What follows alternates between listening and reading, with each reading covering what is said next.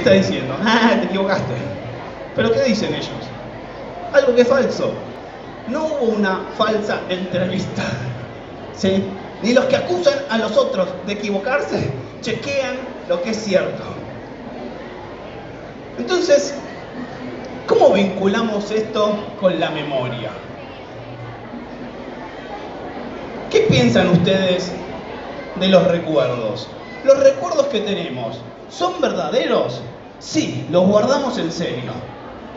Pero en realidad, ¿chequeamos si ese recuerdo verdadero es real? ¿O en realidad lo guardamos porque un montón de personas lo decían y deben tener razón? Si son muchos, seguramente tienen razón. Por lo cual, a veces, sé que es raro lo que voy a decir, deberíamos empezar a dudar de qué? De nuestros recuerdos, de nuestra memoria. Y sobre todo, deberíamos empezar a dudar de la realidad, que es aún peor. Así que, la pregunta es, ¿confían en la forma en la cual guardan información? O sea, hagamos de cuenta que los medios, Twitter, la gente, todo eso dice cosas que son ciertas y dicen cosas que son mentiras. Bueno, pero la forma en la cual ustedes guardan información. Fueron a una plaza, vieron un perro, el perro hizo pis. ¿Eso es verdad? Sí, lo vi. Bueno, confío que cuando lo guardo lo voy a retener exactamente como era. Bueno, vamos a hacer un experimento. Este experimento me encanta porque el título del experimento es si confían en la memoria. Ya pusieron cara como que no, así que lo que voy a hacer es un test de memoria con ustedes. Como yo no tengo memoria, tengo un anotador para acordarme las palabras. Lo que necesito es que registren de alguna manera estas palabras y las guarden con mucha fuerza porque se las voy a evaluar dentro de un ratito. ¿Están preparados? ¿Está preparada señora? ¿La niñita? ¿Sí? Concentración, ¿eh? Es difícil. Golosina. Ácido, azúcar, amargo, bueno, gusto, diente, rico, miel, gaseosa, chocolate y corazón. Sí, soy malísimo. ¿Quién levanta la mano y me quiere decir yo me las acuerdo todas? El niño que levanta siempre la mano, si lo sabes todo, nos vamos al programa de Susana, no sé si existe, pero nos llamamos de plata, igual, empieza mañana. Bueno, vamos a hacer algo más fácil. Yo voy a decir la palabra, ustedes tienen que levantar la mano si está o no. ¿Está la palabra chocolate? Levantemos la mano. Quiero verla. ¿Está la palabra dulce? ¿Está la palabra punto? Bien, erraron todos. ¿sí? Fíjense.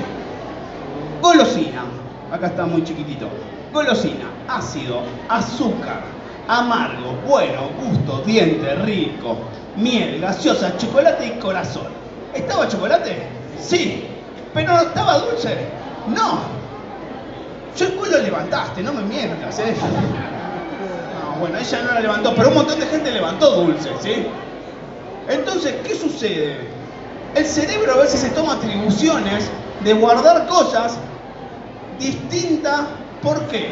Porque ¿cuál es la excusa que van a poner ahora ustedes a, lo que les dije?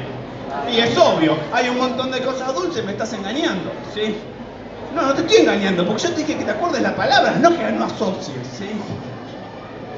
Así que no solamente tenemos que descreer de los medios, de la gente, todo eso y la realidad, sino también tenemos que descreer de nuestra propia memoria, aún cuando vemos que es muy fácil guardar esta información. ¿Sí? No quiero que se vayan angustiados porque el lunes es feriado, el día está lindo, hay un montón de charlas mejores, pero por lo menos que se vayan con algún tipo de duda, ¿sí? Pero ahora voy a tocar otro, otro tema que también está vinculado y es donde acá los chicos quizás se pueden lucir y los grandes pueden perder o no, o al revés, y hacerle chiva, chiva, chiva, calencho a tu hijo, ¿sí? Porque es la atención, ¿sí? ¿Qué es la atención? ¿O por qué es útil prestarle atención a las cosas? No sé si se enfrentaron con uno, un adolescente, millennial, centennial, como lo quieran llamar, ¿sí? En cualquier momento de la charla, si uno habla con un chico, saca el celular como si nada y mientras habla con vos, hace otra tarea, ¿sí? Ese niño, ¿qué piensa? O sea, ¿cuál es su conciencia? ¿Qué le está mandando la tecnología, la cultura? ¿Qué orden le dice al cerebro? tranca, vos seguís charlando, que hay una parte de mi cerebro que se va a ocupar de la charla, mientras la otra mitad de la parte del cerebro va a chequear otra cosa. Pero le estamos prestando atención a las dos. Vos seguís, ¿eh? ¿Eso sucede? ¿Podemos hacer un montón de cosas al mismo tiempo bien? Porque capaz podemos hacer 70, todo mal. Pero ¿podemos hacer un montón de cosas al mismo tiempo bien? Bueno, no. O sí. Cuando uno le hace esta pregunta a los adolescentes o a los niños y a las niñas, responden más o menos cinco o seis cosas. Los chicos dicen, por ejemplo, y las chicas, estamos estudiando, ¿sí? Tengo el texto, lo tengo. Bueno, está la tele prendida, le presto atención a la tele. Hay música, pero si quiero chatear puedo, si mamá me habla, también puedo y a veces juego un ratito porque me embolo con el estudio, ¿sí? Así que lo que vamos a hacer es un juego para ver las limitaciones que tiene nuestra atención. Espero que puedan ver eh, la pantalla porque necesito que participen y mucho, ¿sí? Los que están ahí en los costados pueden ir acá atrás, acá adelante. Es muy lindo ver cómo uno se cree que el cerebro es buenísimo y en realidad es una porquería que no sirve para nada. La tarea es la siguiente. Va a aparecer una imagen, ¿sí? Una imagen. Esa imagen va a durar un poquito de tiempo se va a apagar, o en realidad es como si ustedes parpadearan y va a aparecer otra imagen que es exactamente igual, pero tiene una diferencia. Muy bien. Nos mate. ¿sí? ¿Están listos? Va, esta es la primera. Levanten la mano, no vale decir es esa, ¿eh? La chica de la librería que está concentrada también puede participar.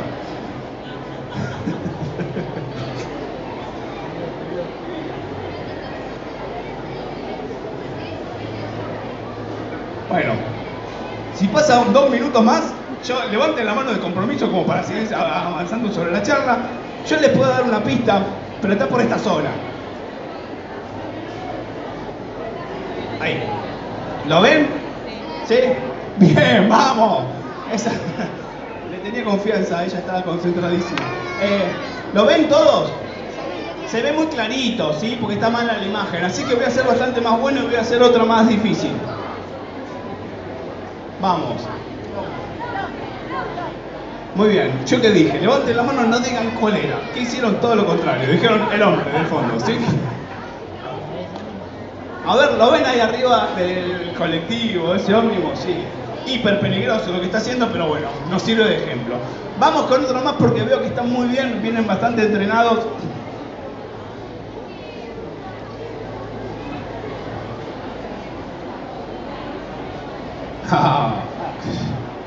¿Sí? Grosa. ¿Seguro? Ahora sí uno con la... Te leo los labios. Muy bien. Qué bronca. 6, 2, 3, 4. ¿Quién más? 5, 6. ¿Se, ve allá? ¿Qué es? Muy bien, allá al, fondo, ¿no? Sí. Empieza con M y termina con AR. ¿Y es mar? ¿Sí? ¿Ese que es el fondo que está acá? ¿Lo ven allá atrás? Sí, se ve, el horizonte cambia. Es muy difícil, muy, muy, muy difícil. ¿Por qué es muy difícil? O sea, ¿cuál es la excusa que le pueden poner a su cerebro o a mí? Eh, hay muchas cosas, Fabricio. O sea, lo que está pasando es muy difícil porque lo que tengo que hacer es esto. ¿Es este tipo? No, espero que parpadee. ¿Es este? No, espero que parpadee. ¿Es este? No, espero que parpadee. ¿Es este? No, espero... Y así hay mucha gente, ¿sí? Hay alguien que de casualidad, no sé por qué, empezó por el agua. Porque uno siempre intenta por acá, ¿sí? Pero ella empezó por el agua y la pegó. Muy bien, ¿sí? Es el agua. ¿Qué información nos da este juego? La pregunta que les hago es, de todo lo que ustedes están viendo, o de toda esa imagen, ¿la podemos ver como un todo? ¿O en realidad vemos un pedacito chiquitito? O sea, en realidad vemos un pedacito muy chiquitito, ¿sí? O sea, vemos esto, los de al lado no. Así que, por ejemplo, miren en este. ¿Cuál es? Si no cae... Está, es fácil porque está justo en el medio, ¿sí? Pero fíjense la diferencia. Ustedes tardaron dos o tres segundos. Fíjense la diferencia. Cuando no hay nada en el medio, el cerebro lo capta muy rápido. ¿sí? Obviamente está en el centro, no lo podemos evitar, pero en realidad vemos muy, pero muy, pero muy, pero muy poco, ¿sí? Así que